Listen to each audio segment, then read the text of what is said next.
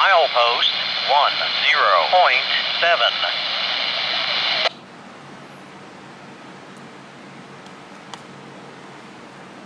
Equipment defect detector. Milepost 10.7. No defects.